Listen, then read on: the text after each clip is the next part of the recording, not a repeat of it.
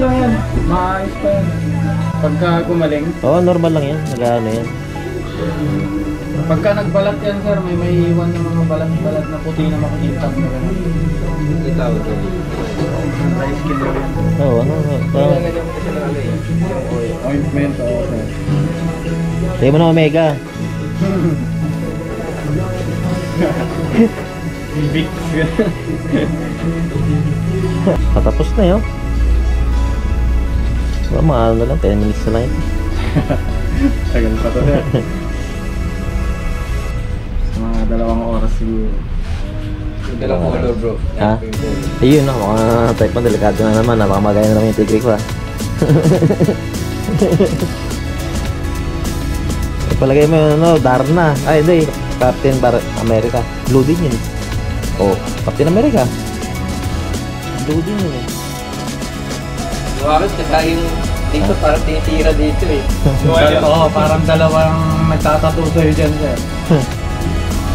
Ganun ang pakiramdam dyan sa part na yan. Lalo pag patapos Ilan na. Yung picture mo, hindi ka nakasmile, eh. Yung sinema sa akin. Hindi ka nakasmile yung sinema sa akin. Alam ko. Then sabi din sa YouTube, mga ganito daw na natagtad ng ano, tagal-tagal na ano, Tayo, masang taon yan.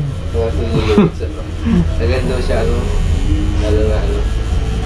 Pag ma- ma-colored sir, mas matagal talagang gumaling. Masang bantayan mo yan bro, yung, ano, yung katawan mo. Sabi ko sa'yo. Kasi pag pumayat ka, maging kuting talaga yan. Kaya kailangan yan ng marami.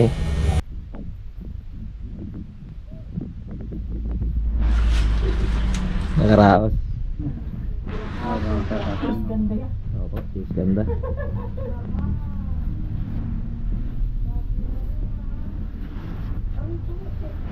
ng kulay. Kita, makikita pa.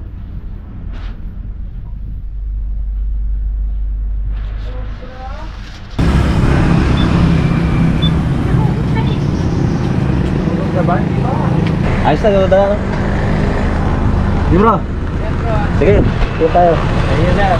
Ingat, ingat.